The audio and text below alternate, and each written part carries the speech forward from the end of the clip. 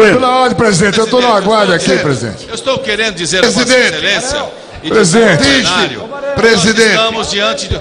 O presidente Rodrigo Senhor Maia. presidente, eu estou com a palavra, senhor presidente. Presidente. Senhor Um presidente, minuto, um minuto, deputado Mauro. Quem está com a não palavra? é ma...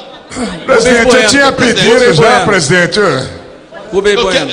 Senhor Que é presidente, tudo eu acabei de ouvir as colocações de que do autor do requerimento e nós apoiamos o requerimento do deputado Zaratini. Junto com ele as manifestações. Aqui não está se discutindo mérito. O que nós estamos dando é uma resposta à sociedade conflitada como está.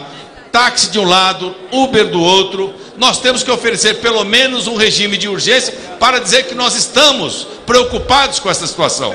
Isto é grave. Se é grave, nós temos que responder. E esse aceno, este gesto, o plenário da Câmara está dando para um projeto que virá consensado por todos nós. Esse é o objetivo maior, para que os taxistas Pela ordem, presidente. Uma observação, não presidente. está se proibindo. Espera um senhor pouquinho, presidente. vamos- vamos o objetivo é regulamentar. Regulamentar para que os novos prefeitos, quando assumirem, estarão juntos aqui com esse grupo de trabalho apresentado pelo deputado Zaratini e que nós apoiamos o requerimento de urgência. Senhor presidente.